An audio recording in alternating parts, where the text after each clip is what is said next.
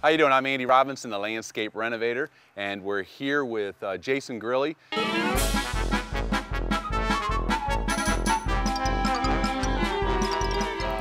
you know what these are?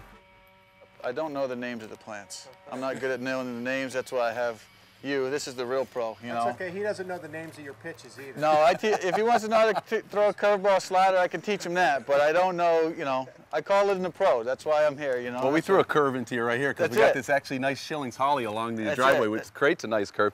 And the nice thing about the Schillings holly is that it's if you prune it once, maybe twice a year at the most, it's not going to get out of hand. If you forget to prune it and it takes you a year, you can always cut it back, and it's a, it's a real nice one to maintain. Disease and insect resistant, drought tolerant.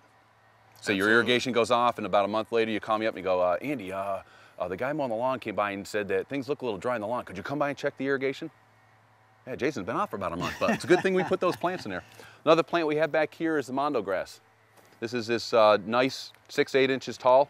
Um, one of your things that your wife had asked me to do here, and because I know it really wasn't your project, was actually to do some things that tied in with your house, so Yes. with the architecture. So we did some kind of nice formal lines with some nice big uh, masses of ground cover. Yeah, I like the grass a lot. It reminds me a lot about baseball. So, perfect, perfect uh, fit for this house. The grass. The grass. But, but normally up in Detroit in September, you guys leave because the, actually the grass isn't growing, right?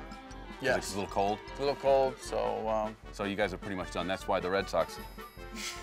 Well, it's a little cold there Yeah, too, right? because grass grows yeah, because grass grows in Boston. So, well, actually, last fall it grew a little better in Boston, didn't it? yes, it did. I'll give you that. I'll give you that. Let's go take a look at a couple of these other plants. This is uh, Liriope up here. It's one of another grass family. Gets about 18 to 24 inches tall.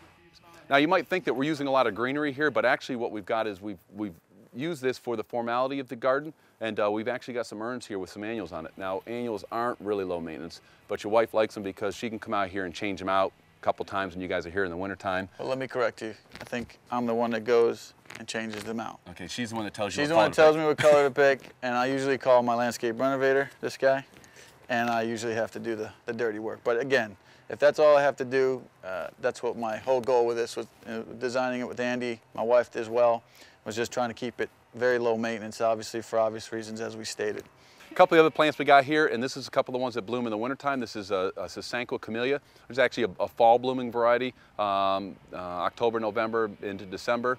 We also have Japonica, which is a January to February bloomer. So this one's going to give you color while you're here. Some other things we've used in this garden though is uh, Burford holly, has a uh, deep green shiny foliage, got a red berry on it.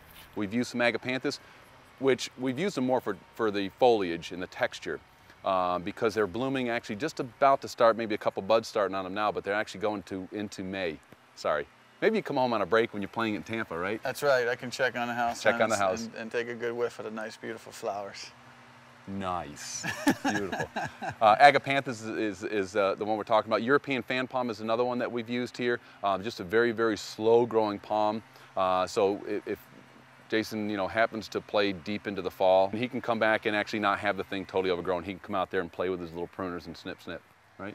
Absolutely. Or, you know, if I am pitching, when I am pitching, I can just call it my landscape renovator here uh, because I will be pitching in the cold, nice northeast temperatures, and that usually means that you're in the fall classic. So, Plus, That'll it's a fun. contract year. contract year, I gotta, I gotta feed that baby and feed these plants. That's right. It- uh, more work for the landscape renovator.